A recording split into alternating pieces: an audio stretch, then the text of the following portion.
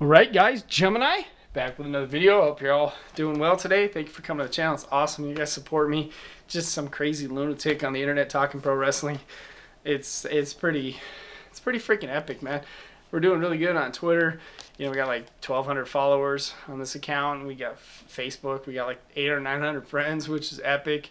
And then the YouTube account is like taking off too. Like I just set my record on views and subs last month, and it's it's it's going pretty damn well. It's a slow climb, but you know what? Starting to get some respect here in the YWC, and I appreciate that. I mean, there's some hate that comes along with it, but whatever. I, there's more good than bad, so the good outweighs the bad. And okay, so what we're gonna do in this video today? Uh, I went to Best Buy. I picked up the new DVD at Best Buy. It was $9.99, and it's uh, The Sheik. And this is the one that was on Netflix a while back. Not sure if it's still on Netflix. Haven't checked it out recently. But yeah, Break Your Back, Make You Humble, The Sheik. And I saw a little bit of this. I couldn't quite understand it. So I'm going to have to watch this when it's really quiet in the house and I can turn the volume up all the way because he's got that thick accent and it's hard to, to make out the words. So I'm going to have to listen very carefully to what he has to say. All right, let me read this to you. It's hard to say his name. Kraushal Ali Vadarizi was born in Iran in 1942, establishing a name for himself as an amateur wrestler, a bodyguard of the Shah of Iron, Iran, excuse me, an athlete representing his home country in the 1968 Summer Olympics. In the early 1970s, following the unexpected controversial death of his good friend and Olympic gold medal winner, I'm not even going to try to say that name, I'm going to butcher it. I could give it Gole Mary Takiti.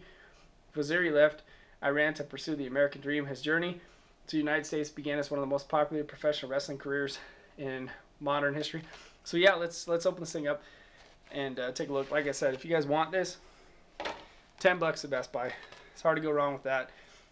I still love collecting DVDs. It's still a blast for me. When it becomes not fun, then I'll disappear from YouTube. All right, opening it up. All right, you guys got to see the live unplasticking. If that's, I don't even know why I had the knife. Just ripped it open. I know some guys probably want me to stab myself with that knife. But no chance, man. Too many good things going for me to be worrying about some detractors here on YouTube who think I'm an asshole. Well, you might be right. Fucking motherfucker. Open up! Oh, we're fucking just muscle it. Ah! Okay, no cover slip, but there's your Sheik. Pretty sweet. It's got the new DVD smell. Love it. You guys have been with me for the last couple minutes. Took a look at the Sheik. And uh, thank you for watching. I'm Gemini. Have a good one.